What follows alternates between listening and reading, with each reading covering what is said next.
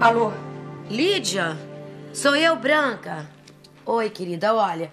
O advogado já esteve lá, falou com o delegado. E amanhã, bem cedo, ele vai ver o que, que ele pode fazer por seu filho do ponto de vista legal. Amanhã? É, amanhã. É de dia que essas coisas se resolvem, não é, Lídia? Fica sossegado, olha. Eu vou mantendo você bem informada.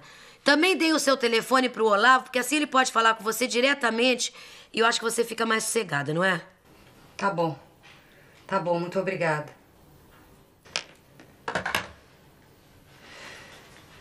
O advogado vai ver amanhã o que pode fazer por ele. Fiz tudo isso pro bem dela. Não me arrependo de nada, Rose. Faria tudo de novo. E muito pior, se você quer saber. Ah, quanta coisa você fez antes de recorrer a isso? Ah, mandei a menina pros Estados Unidos, ficou lá meses, gastando uma fortuna, me custou um dinheirão. Transferimos o rapaz para São Paulo, meu Deus do céu. Tudo que estava ao meu alcance eu fiz. E nada, ainda por cima querer se casar às escondidas de mim. Ah, não, alto lá.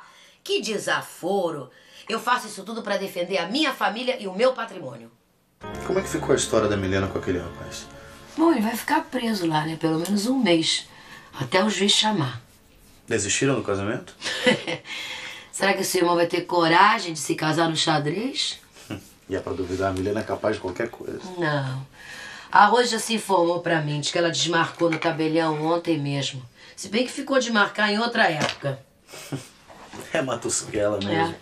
A empresa já tá em crise, né? Se a Milena bota um vigarista desse dentro da nossa família, meu amor, em três tempos estamos falidos. Bom, eu vou pro escritório. Tem uma reunião muito chata lá hoje com o conselho. Quando o velho tá lá, ele conta umas piadas, as pessoas dão risada, o tempo passa mais rápido, mas hoje vai ser diferente. Vai sim, Eu vou ter filho. que segurar sozinho a onda. Vai com Deus, meu amor. Dá um beijo, mamãe. Tchau. Tchau. Tá tão triste, tão triste. Eu só não tô feliz. Vai passar. Vou acabar me acostumando. Tchau. Tchau.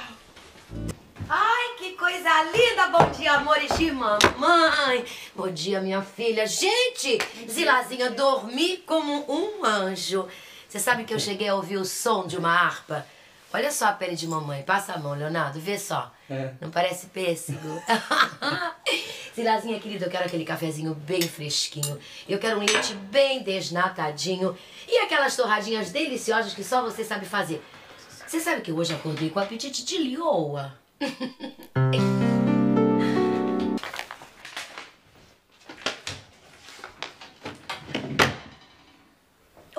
filho.